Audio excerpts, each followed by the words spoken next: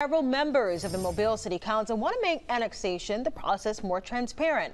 They introduced a new ordinance today and they believe it can do that. Our Stephen Moody has reaction from one of the sponsors of that ordinance.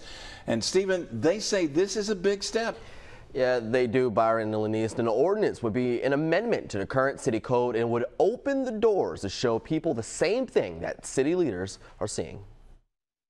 After repeated debates on annexation within council chambers, council members William Carroll, Cory Penn, and CJ Small are trying a new approach. They want voters to be able to see more information about the proposed annexation by adding more transparency. That's why they came up with this ordinance. Once we're all unified on a, on a single cause, then we can move the city forward. But until then, it's hard for any one group to trust the other.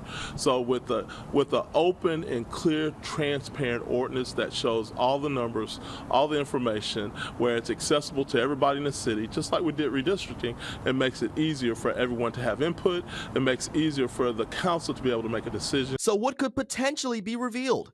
According to the ordinance, it includes a map of the boundaries as of now, a map of the area being considered for annexation, a list of services provided in that area, including utilities and emergency, and the revenue that's currently being generated.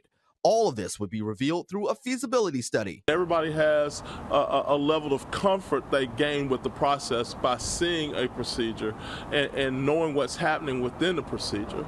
So it, it, makes it clear to everybody that has any questions about anything or any discussions that have been going on. And for Councilman Carroll, this could set a pattern for how the city handles annexation in the future. Annexation doesn't happen every day, but when it does, there needs to be a clear and, and proper procedure and, and process that we follow over and over again so that the community is unified with the same process and we're all looking at the same information and material and we all understand where we're going as a city.